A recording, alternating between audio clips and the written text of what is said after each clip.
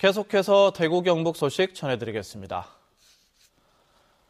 대구 경북 지역에는 밤사이 내리던 눈이 대부분 그친 가운데 지금까지 상주에 가장 많은 6cm의 눈이 쌓인 것을 비롯해 대구 2.7, 김천 3, 포항 3.6cm의 눈이 쌓였습니다.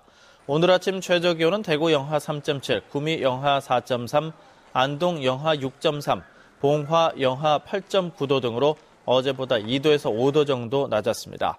낮 최고 기온은 대구 5도 등 2도에서 7도의 분포로 어제와 비슷하겠지만 바람이 강하게 불면서 체감 온도는 더욱 낮을 것으로 보여 건강 관리는 물론 수도관 동파 등 시설물 관리에도 각별한 주의가 필요합니다.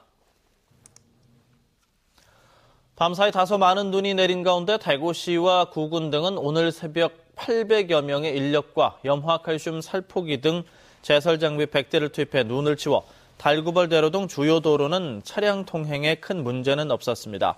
하지만 주택가 이면 도로나 아파트 야외 주차장, 인도, 비탈길 등에는 눈이 쌓여 있거나 빙판으로 변한 곳이 많아 운전자와 보행자들의 주의가 필요합니다. 한편 새벽에 내린 눈으로 동구 팔공산 순환도로와 달성군 이현고개 등 7곳의 통행이 통제됐고 경북에서도 칠곡 도계온천에서 다분 아들목 사이 등 12곳에서 차량 통행이 통제되고 있습니다. 자율형 사립고와 특목고들 때문에 갈수록 위상이 추락하고 있는 위기의 일반계 고등학교를 살리기 위한 대책이 마련됐습니다. 금교신 기자가 취재했습니다. 지난달 입학 원서 접수를 마감한 대구 지역 자율형 사립고의 평균 경쟁률은 제도 도입 이래 가장 높은 1.25대 1을 기록했습니다. 대구 외고도 2.03대 1로 특목고 강세는 여전했습니다. 서울대와 경북대 등 주요 대학들이 2015학년도 입시부터 정시 모집을 대폭 확대하고 수능 시험의 중요성을 높이겠다고 발표한 때문입니다. 몇 년째 상위권 학생들을 빼앗겨온 일반계 고등학교에서는 볼멘 소리가 터져 나옵니다. 심하게 말하면 함차 됐다 그럴까. 자사고 4개가 있습니까? 음. 자율고가, 그죠? 네 그러다 보니 더좀 음, 힘들어지는 것 같아요. 이런 위기 일반계 고등학교를 위해 정부와 대구시 교육청이 대책을 내놓았습니다.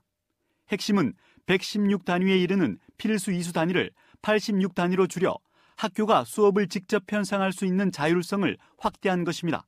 학교마다 정말 특색 있는 교육 과정, 특색 있는 교육 과정은 결국은 다양한 학생들이 진로 희망 수요를 받아들여서 그 교육 과정을 녹여줘야 되는데 거기에 좀 역점을 기울임으로써 학생들이 수시에서도 좋은 성적을 거둘 수 있도록 이를 위해 지역별로 67개 학교를 한 개의 클러스터로 묶어 전체 8개의 클러스터 내에서 각 학교의 특성화된 교육 과정을 공유할 수 있도록 할 방침입니다.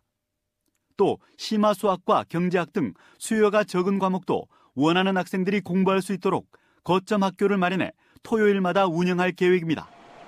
시교육청은 이를 위해 국비 등 27억여 원의 예산을 지원합니다.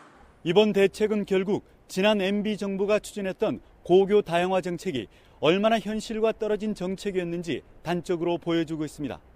MBC 뉴스 금교신입니다. 오늘 경북 지역에서 고입 선별고사를 치르는 가운데 전교조가 올해 고교 입학 예정자부터 부활된 고입 선별고사 탓에 중학생들이 불필요한 입시 경쟁에 내몰리고 있다면서 고입 선별고사를 폐지하라고 촉구했습니다. 특히 고입 선별고사가 국영수의 문항 비율이 높아 일부 학교에서는 강제 자습을 하고 사교육 수요가 늘어나는 등 학생과 학부모에게 모두 고통을 주고 있다고 밝혔습니다. 대구 복현 오거리에 있는 막창골목이 대구 지역 여덟 번째 착한 골목에 가입합니다. 대구 사회복지 공동모금회는 오늘 오후 3시 북구 복현동에 있는 막창골목에서 착한 골목 가입식을 열고 상가 29곳이 앞으로 매달 매출액의 일부를 기부해서 북구 지역 저소득층 주민들의 생계비와 의료비로 지원한다고 밝혔습니다. 대구 지역 착한 골목에는 지난 4월 동인동 찜갈비 골목을 시작으로 안지랑 곱창 골목, 원대 가구 골목 등에서 390여 개 상가가 가입해 전국에서 가장 많습니다. 감사원에 따르면 생계수단인 농업에 재해를 입은 사람에게 지급되는 재난지원금은 소득이 일정 기준에 미치지 못해야 하지만 김천 씨는 소득이 연 4,500만 원을 넘는 140여 명에게 2억 5천만 원을 지급했습니다. 성주군도 지원 대상이 아닌 한 가구 2주택, 1가구 2주택 소유자 70여 명에게 9,400여만 원을 지급한 것으로 나타났습니다. 감사원은 부적정하게 지급된 재난지원금을 회수하고 부당 중복 지급되지 않도록 감독을 철저히 할 것을 요구했습니다. MBC 생활 뉴스를 마칩니다. 고맙습니다.